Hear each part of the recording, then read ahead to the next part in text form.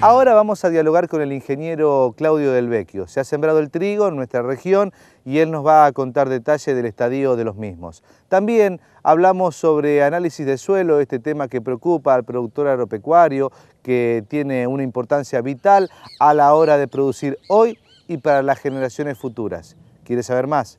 Vea el informe.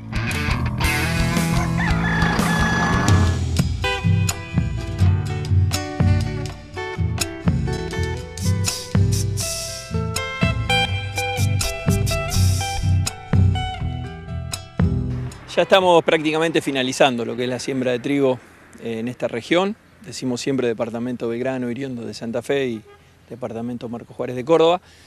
Tenemos que decir, bueno, confirmar que la superficie ha caído de manera significativa. Nosotros estimamos alrededor de un 30% en nuestra región y se ha hecho prácticamente eh, muy pocos lotes de trigo, productores que directamente no han sembrado eh, directamente ese cereal. Eh, algún lote puntual de lo que es cebada. Y bueno, lamentablemente el resto de, los lotes vuelven a, inclinarse hacia lo que es el cultivo de soja de primera. Digo lamentablemente porque bueno, una de las herramientas eh, agronómicas que más defendemos, al menos de nuestras profesiones, la, la rotación de cultivos, pero cuando realmente el contexto no ayuda, el productor hace que, bueno, que, la mayor cantidad de, de los lotes de su establecimiento sean ocupados con soja. Los productores agropecuarios preocupados por esta situación, preocupados por buscar el cultivo que mejor le dé al negocio, por lo menos por estos días, ¿qué hacen una vez que terminan de sembrar? Recién hablábamos de los análisis de suelo, ¿cómo lo están evaluando ustedes? ¿Cuál es el trabajo que están haciendo por estos días? Bien, en esta época del año, para los lotes que no, que no se sembró cultivo de invierno, son destinados a las labores de barbecho. Barbecho es concretamente el control químico de las malezas eh, que son de invierno, que comienzan su nacimiento en la época de otoño y se desarrollan durante el invierno. Lo que hacen los productores es realizar las pulverizaciones para realizar el control de esas malezas y básicamente el suelo toma el periodo, decimos nosotros, de descanso y de acumulación de reservas de lo que va a ser la campaña gruesa a partir de septiembre-octubre. Eh, nosotros aprovechamos por la época del año en que es, que, en que estamos, en cuanto a la aquí hay tiempo para, poder caminar los lotes, a realizar lo que vos decías, una de las herramientas más importantes que tenemos desde la profesión, que es el análisis de suelo. Básicamente lo que hacemos es tomar muestras de suelo de los lotes, obviamente que, están ya acordados con los productores. Eh, la muestra de suelo se compone de acuerdo a la superficie del lote, de acuerdo al establecimiento, de acuerdo a la irregularidad que muestre el lote en cuanto a ambientes se toma un conjunto de 10 a 15 submuestras que forman una muestra compuesta. bueno, por supuesto se rotula, se envasa y se envía al laboratorio que nosotros consideramos de mayor confianza. Y básicamente lo que hacemos con esa herramienta es eh, un diagnóstico claro de lo que es la fertilidad del suelo.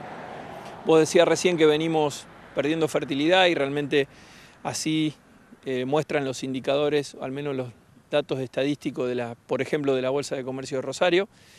Si uno compara análisis de fertilidad de nuestra región, de campos buenos, como decimos nosotros, desde los primeros que están por allá por la década del 80 y a hoy se muestra una significativa reducción en indicadores químicos que son muy importantes para la fertilidad de nuestro suelo, como puede ser materia orgánica y algunos nutrientes concretos como pueden ser fósforo, nitrógeno y en menor medida algún otro como puede ser azufre y calcio.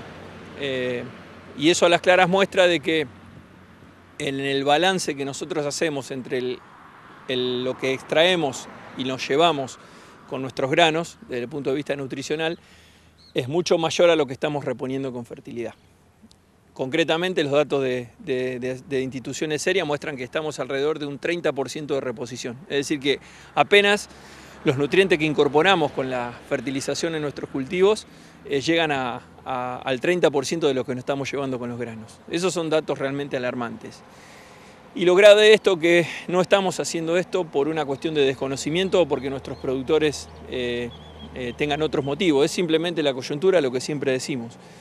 En un contexto tan difícil donde los números son tan justos, el productor siempre opta por reducir o por, o por achicar, digamos, las dos variables más importantes que tenemos de, la sustentabilidad, que es la rotación de cultivos por un lado y la fertilización por el otro. Y ese es el resultado de lo que vemos con los análisis año a año. Por eso es que es tan, pero tan importante de que el escenario cambie y en la medida que los productores puedan, sugerimos siempre nosotros desde nuestro lugar que seamos al menos manejar una estrategia de, reposición de nutrientes, es decir, aportar a nuestros suelos eh, por lo menos lo que se lleva el cultivo. De esa manera estaríamos en un escenario de mantener la fertilidad de los mismos.